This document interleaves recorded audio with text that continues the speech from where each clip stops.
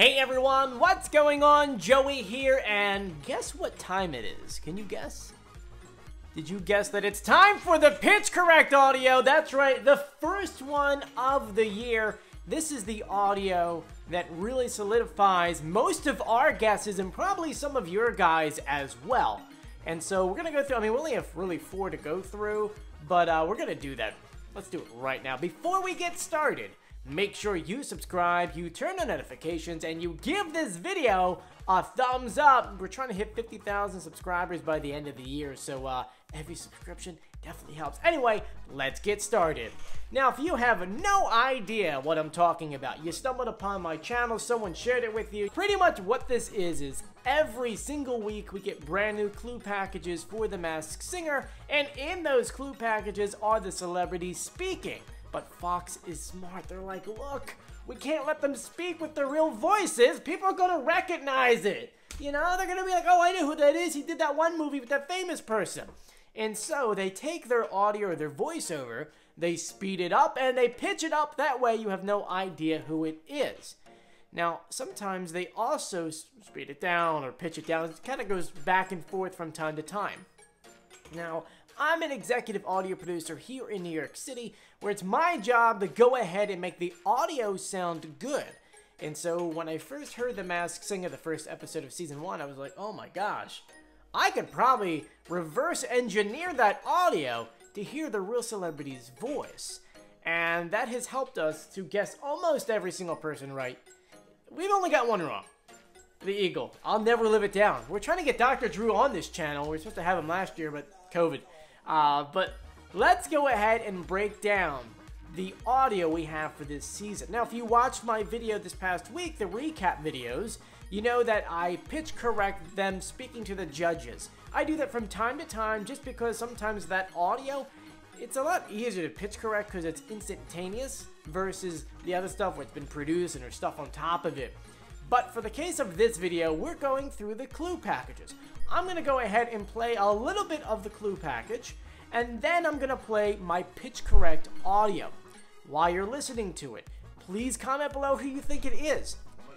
I will give you a warning that the baby audio, because he is talking in an accent and pitching himself up, it's the pitch correct audio is not that good. It's not our fault. It's just we're pitch correcting to the way that he's speaking. And so if he talks like this, that's what you're gonna hear. You know, even after they pitch it up, it's not gonna sound normal whatsoever. But I will tell you right now, the bull and the hamster you're gonna hear the voice and you're gonna know who it is. Anyway, let's go ahead and play the pitch correct audio for you guys. Here you go. When I was in school, I marched to the beat of my own drum. There was one place that I felt the most free to be myself my garage. In that dusty space, I created my own world. When I was in school, I marched to the beat of my own drum. There was one place that I felt the most free to be myself my garage. In that dusty space, I created my own world. I put on shows, I gave the best performances, and my shows were always sold out. At least in my head, they were sold out. I lived on my own planet, and tonight I'm singing a song that reminds me of that time. I feel like I'm forever a student. But you know, the biggest thing I've learned is that life happens. School was always easy for me. I had a full ride scholarship. I feel like I'm forever a student. But you know, the biggest thing I've learned is that life happens. School was always easy for me. I had a full ride scholarship when I got some unexpected news that changed everything. I was forced to take a different course, but I learned life lessons I'd never get in the classroom. Success isn't measured in a diploma, and it turns out that pivot in my life was the greatest degree I could ever get. So I've decided to sing a song for all the women out there who put their own dreams on hold for others. I wanted to become the hamster because, unfortunately, my body is shaped very much like a hamster. And also, I felt stuck in a bit of a wheel. I wanted to become the hamster because, unfortunately, my body is shaped very much like a hamster. And also, I felt stuck in a bit of a wheel going round and round.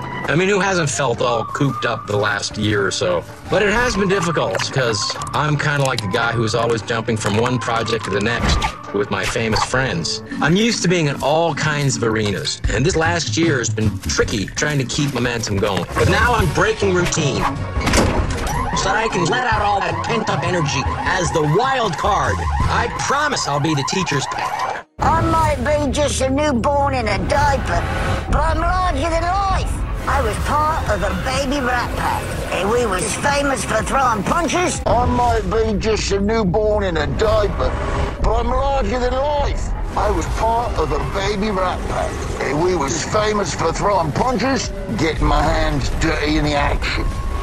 I got blockbuster hits, award-winning album, radio play. I've even replaced Schwarzenegger in a film.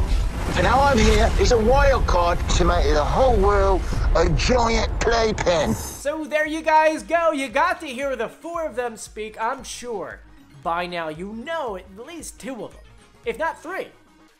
Let me know in the comment section. Go skunk dash whoever, bull dash whoever, so on and so forth. And I want to thank you guys for joining me. If you haven't done so yet, please subscribe, turn on notifications, and give this video a thumbs up. Anyway, I want to thank you for joining me. I'm Joey. Stay safe, everyone. See you later. Bye.